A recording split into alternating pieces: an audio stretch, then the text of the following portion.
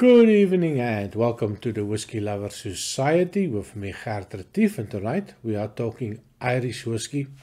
Now I've done a couple of videos on Speyside whiskey, Highland whiskey, Islay whiskies and I thought it's a good idea to bring in a little bit of the Irish whiskies. Now um, I went through all my reviews the last two and a half years and um, I looked at the ones that I really enjoyed. Now, I'm sure there's a lot of other whiskies available, whiskies that I've no, never even heard of, maybe whiskies that I've never even seen in the shop. I can only uh, describe, I can only taste what is available to me. So I go through the list. I have some bottles still left um, in the in the shelf. I did a little bit of a rearrangement. Went down to the basement, found some old dusty ones that I can't even remember what I had. Um, as you can see, they are still quite very dusty. I found one that I haven't even opened, and um, I thought I'm going to give it a try and twisted it and realized it was still a, a closed bottle. I didn't mean to open it, but I was a little bit curious. So I'm going to start off um, with something that I really like, and that was the Teeling's Wonders of Wood First Edition. Cost then, when I bought it, was about 85 euros for the bottle. It was 50% ABV, natural color, non-chill filter, a mixture with 50% malted barley and 50% unmalted barley, virgin American oak, and another oak that's not really normally used. They call it the Carbon American oak that they are using for this maturation. On the nose, and that is something that I really liked about this one. It what had this absolutely awesome nose. You get that sweet caramel notes. You get that little bit of an English toffee note. You get a hint of a furniture polish note, a sweet furniture polish. You get a nice woody oaky note. And then you also get that alcohol, that high ABV. It's really punch you in the in the nose.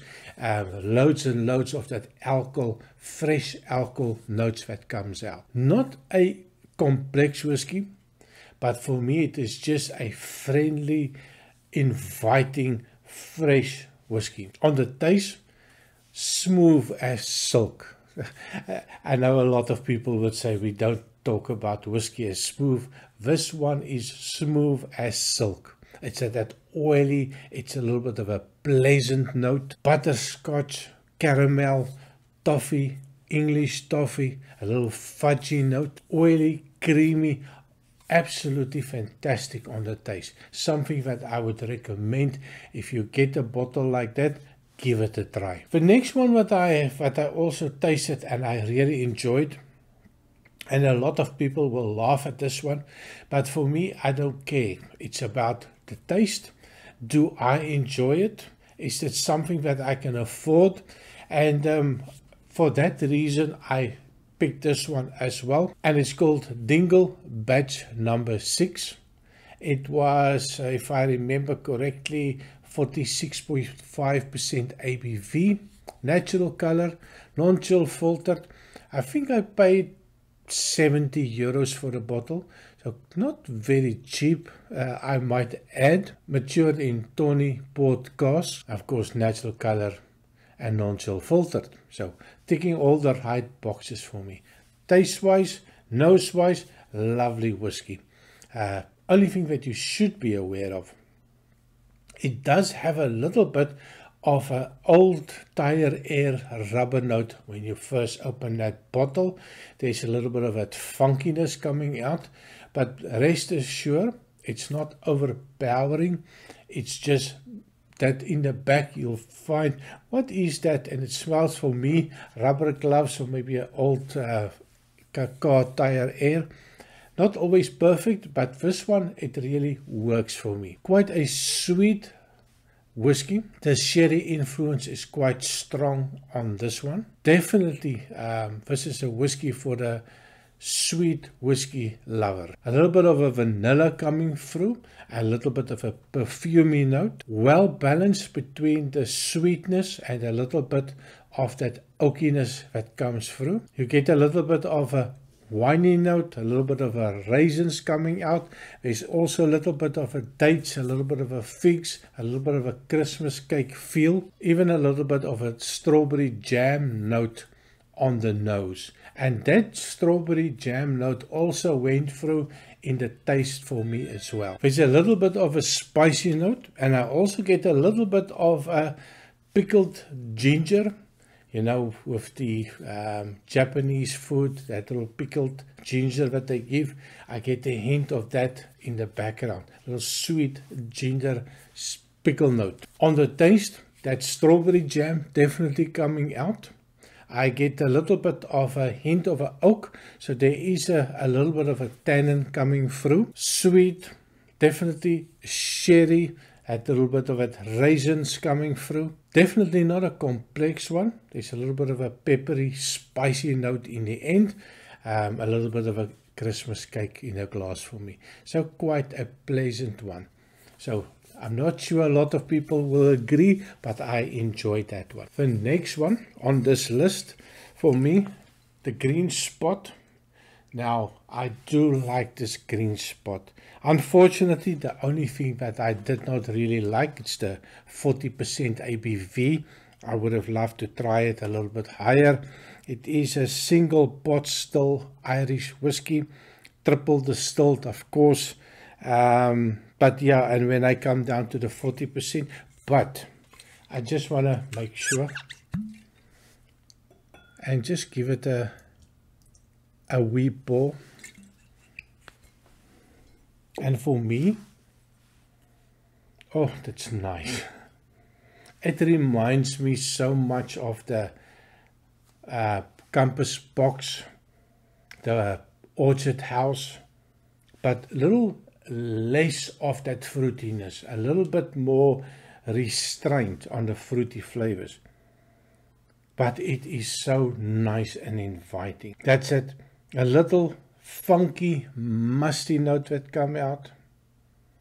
Sweet apples, a sweet pear, a little bit of an Asian pear. There's a, a creamy note in it. Fruit salad, even a hint of a, a lightly toasted bread. A little sherry note, that raisins coming through. A little figgy note. A little hint of a cinnamon. A little peachy note. Hmm, like a caramelized peach. You know, when you make a nice fire, half the peach, put it on, you get that griddle marks on them with a little bit of a caramel note that comes out, that little burnt sugar note, and a hint of a minty, a little mintiness that comes in. Oh, that's really nice. Taste-wise, of course, fantastic. I would have so liked to have it at 46%. It is a little bit watered down, also, also I'm quite used to the high ABV whiskey. So that alcohol is a, a little letdown for me, but it's a little bit of a oily, creamy mouthfeel to it. It's quite sweet. That apples come through, that Asian pear notes come through. Let me just make sure. A little bit of a, a sherry note, little sherry sweetness, but not, definitely not a very sweet whiskey. Mm. I really like this one. So that for me is also one of the nicer ones. I know there is the, the yellow spot and the gold spot and all the spots that's available. I think there's even a red spot. I haven't tried them. Mm, but this one is really fantastic for me. Then of course it, it's, it's not always straightforward and easy. I did have a discussion on this, uh, the next one, the Redbreast um, single pot still the Listowel. This one is bottled, I think, 46% ABV. So I did up the level a little bit. When I opened up this bottle, I was not impressed with it. I really didn't like it. Well, I, I was okay with it, but I struggled with this one.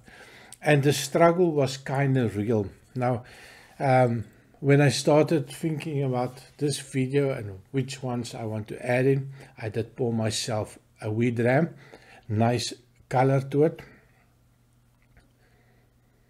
And um, and I must admit, with that oxidization, the level is about here now.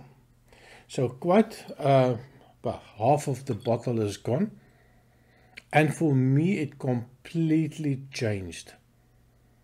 It is so nice and inviting and sweet.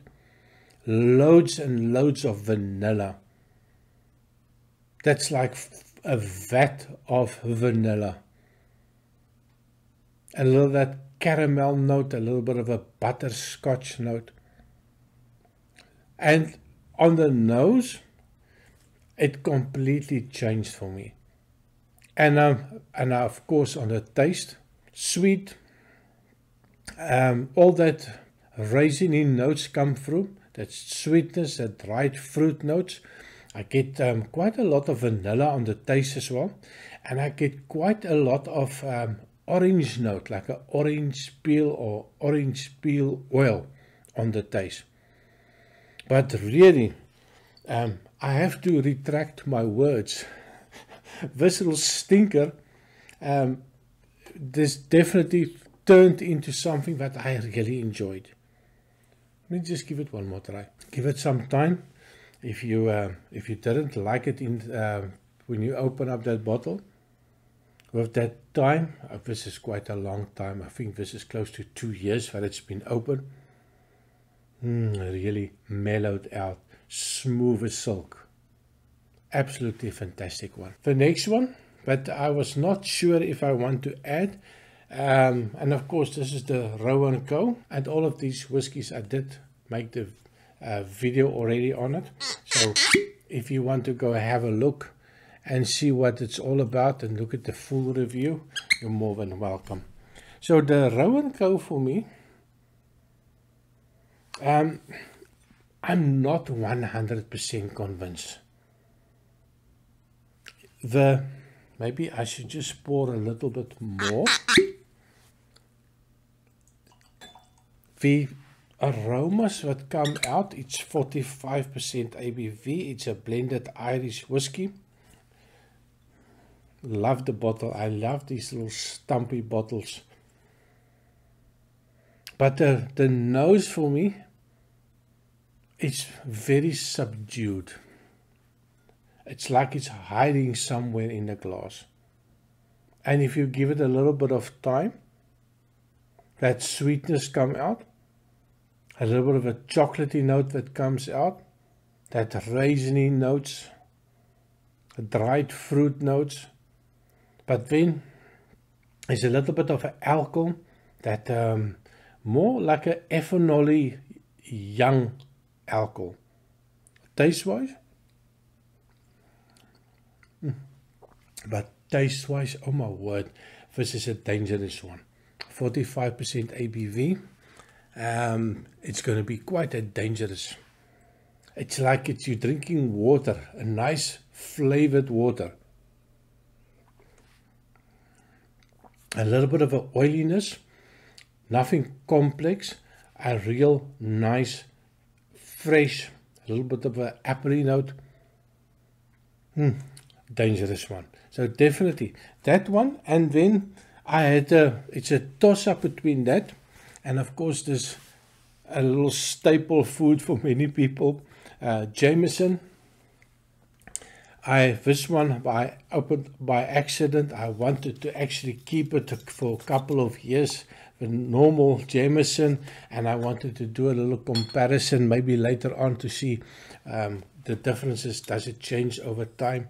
And um, but yeah I, I was so stupid I just grabbed the bottle covered with dust and I just twisted it and realized it was still closed and I forgot that I wanted to keep it. And um, for me this is just a you know when you go to any pub anywhere in the world and there will be a Jameson on the floor. That fresh apple note is a whiskey that I do enjoy. And this Jameson, that freshness is there, that sweetness is there. Oh my word, and such a drinkable whiskey. This one also bottled at 40% ABV. So again, there's a choice in Jameson. This one has got a little bit of a, a funkiness to it. I'm not sure if it's been standing too long. But not a lot on the nose, but on the taste, perfect for my uh, palate. Let me just give it one more try. Mm, just a lovely one. And, um, and I was not sure which one else can be part of this. And I must admit, two of them stood out. The Caskmates um, IPA, this one, and of course the Stout Edition. And um, I was not so sure about the Stout Edition. Um, I'm not always a big fan of st the Stout. Um, some stouts can be fantastic some of them can be quite uh, bitter to it. But the stout one, oh my word. There's a big coffee note to it. Dark chocolate note. Sweet raisins. Vanilla. But definitely I get that stoutiness. I can close my eyes. It's, I smell like a morning cup of coffee. Mmm, really nice. Mm. And taste wise, oh my word, it is so drinkable. So, oh, one more try.